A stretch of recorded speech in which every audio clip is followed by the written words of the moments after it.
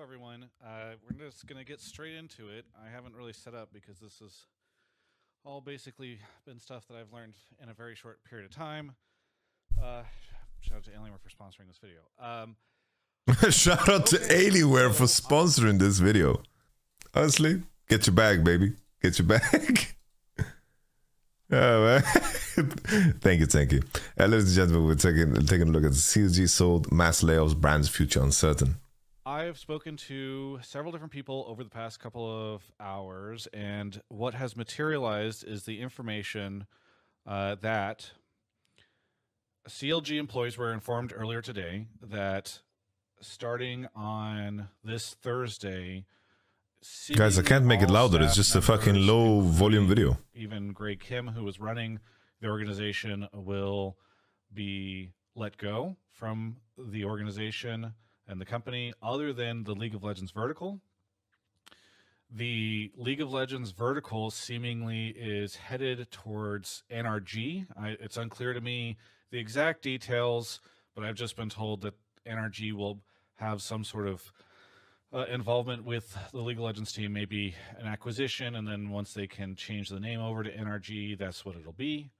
Uh, but it appears as though CLG will likely not continue to exist as a brand or an org uh, because MSG, Madison Square Garden, who owns CLG, will uh, or has seemingly sold off the League of Legends vertical or perhaps the organization. Again, the de- exact details of the business situation are not completely clear to the staff members who were informed of this. Uh, but this seems to be what I have pieced together over the course of talking to different people. Uh, I've reached out to both CLG and MSG and was not able to get a statement at the time of this, uh, and have not been able to reach out to NRG at this time, though I plan to as the story develops. Uh, but that is what's going on. Uh, obviously, there's a lot that people are going to react to. You know, they're going to talk about esports. They're going to talk about I think the crazy thing, I'm whispering because some of you guys are using the, the extension. Uh, the craziest thing is that uh, some, like, this is mid season. This is mid season. That is crazy. That is crazy. CLG and the legacy, I think the most important thing to consider during all of that is that a lot of people just lost their jobs. They lost it on very short notice. And that those people now, what what is perhaps interesting for us to talk about or interesting for us to be sad about as fans, um, the thing that is most relevant is just the amount of people that are out of work now. Um, and so, really, please keep an eye out if you are in a position to hire capable people. Uh, it seems like CLG was really doing a lot of cool stuff in the last couple of years and really starting to Bud Light around. I Ace. My perception of them has changed a lot from even just a year or two ago. Um, and I think it's important to think of those people as we talk about uh, what all of this means in the broader context. Now, that being said, this is wild. I mean, on the heels of the TSM stuff that came out last week, uh, we also now have the CLG news, and it's a bit of a heartbreaker. I mean, CLG was really the first organization that I remember covering in a significant way, uh, and I was excited for them as they got acquired by MSG. We really thought that this was going to move in the organization to an exciting um, direction, and obviously things did not pan out the way that it did, or that a lot of people expected it to or hoped it would. And now we are in the situation where the future of the brand and the org is uncertain. Um, I think that there might be some attempts to recover the brand. I don't know. And it's unclear again at this time if MSG still owns the IP of CLG. They can just make a CLG NFT. NRG seemingly will with whatever is going on with them now. Um, and what happens if NRG decides to just rebrand the league team over to CLG, or sorry, from CLG to NRG?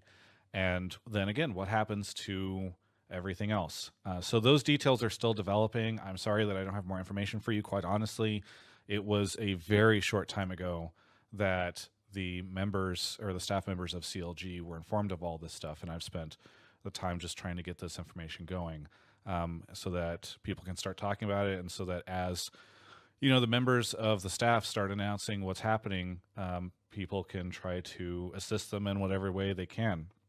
Uh, we'll be talking about this on Hotline League tonight, um, as well as the TSM news. It's not fun news. Um, it's very interesting. I will say the NRG stuff really surprises me because I'd heard from a couple people that they were in an interesting financial state not too long ago. So, you know, I don't want to speculate too much, but I don't know if this means that there's another buyer that came in on NRG or whatever. But I do think that the story might be a little bit bigger than just NRG acquiring the league spot. But we'll see Mr. how things Beast. develop. Perhaps existing investors decided to um, invest further given the opportunity to acquire Mr. F. So again, there's a lot we don't know yet, but I wanted to get this video out there because the stuff is going to start hitting here and just a little bit. Uh, if you are somebody who has additional information on this, uh, feel free to share it with me. I am um, capable of being respectful of people not wanting to uh, to get in trouble with anyone. So. Uh, feel free to uh, reach out if you do. Again, we'll be taking calls about this on Hotline League tonight, so we can hear from all of you about it. And again, heart goes out to everybody uh, who are impacted by the layoffs. And I guess we're going to see what happens with CLG, the league team, and everything else over the next couple uh, months. But expect expect news, I believe, uh, sometime around later later this week uh, would be my guess. Anyway, thank you all. My take on this, okay? Um, like T- TSM and CLG are two orgs that I watched uh, since. Like I watched them, I looked up to the players, I played against them even. Like TSM and CLG, their legacy in League of Legends is legendary, and they played a huge part in the success of League of Legends in terms of the popularity through the streams on own3d.tv and uh, of course you know the rivalry between the TSM and the CLG you know all of that was so interesting and they had some infectious personalities on there that really really had a dream about what esports could be and what it can be right they created CLG as an organization, TSM as an organization. I think that they were a big part of, you know, selling the idea of making the LCS and making the LEC, right? Um, with without these teams, the caveat is though is that you can't hold on to legacy and be that your have that be your main selling point. Teams need to adapt. Teams need to overcome.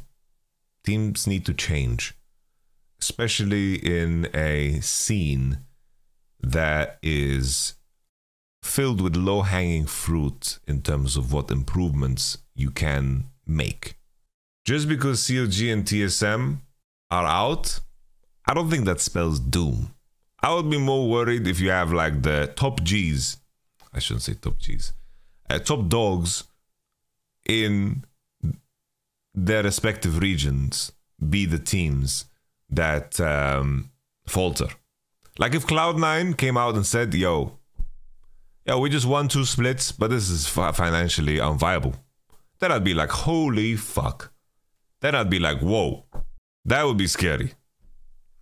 But if G2 came out and said, yo, G2, we, we, we don't think this is financially viable to be in the LEC or like Fnatic, you know? That would be like, damn. But TSC, TSM and CLG haven't been the same for many years. I don't think we should paint the picture that CLG and TSM are currently the top dogs, you know? I just don't think they are. And to to if they're in a situation, right? It's like TSM got fucked over by the FTX. I don't know the details. cog I don't know. I I I, I CLG hasn't been on my radar for I don't know how long. And this comes from a person that really has great memories of watching cog and TSM. But it's like, I think it's fine for some things to change and some things to be phased out. And if downsizing needs to happen, then it needs to happen. But are they not big brands? Mm, are they in the context of everything else? FaZe is a big brand, right? And that went to shit. It's like being a big brand is not enough. I think most of the time in esports, people care more about players than teams. There are some legacy fans out there that care about that are fans of Fnatic, They're fans of TSM, fans of CLG. There's definitely people out there that are like that. The, the more traditional sports fan, right? That buy every jersey, that represent the colors. And I feel bad for those guys, for sure. But looking at the context of the LEC, I mean LCS, you a, a lot of the old school TSM fans are just fans of 100 Thieves because of Bjergsen, because of Doublelift. It's like people are fans of, of FlyQuest because of Prince and the moves that they are making, and they were exciting to watch. And people want to watch, uh, of course, uh, C9 because they're winning and uh, the players there, right?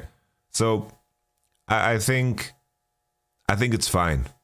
I wouldn't be surprised that a lot of the current viewership in LoL esports don't give a shit about season 1, 2, 3, 4. I, I'm pretty sure that's the case. So I think I think all of these changes that are occurring in the space in terms of what money comes in and what, what's going on, I think that's something that needs to happen. And I think that change will be positive in the long run. So I'm not scared. You know, I'm not scared.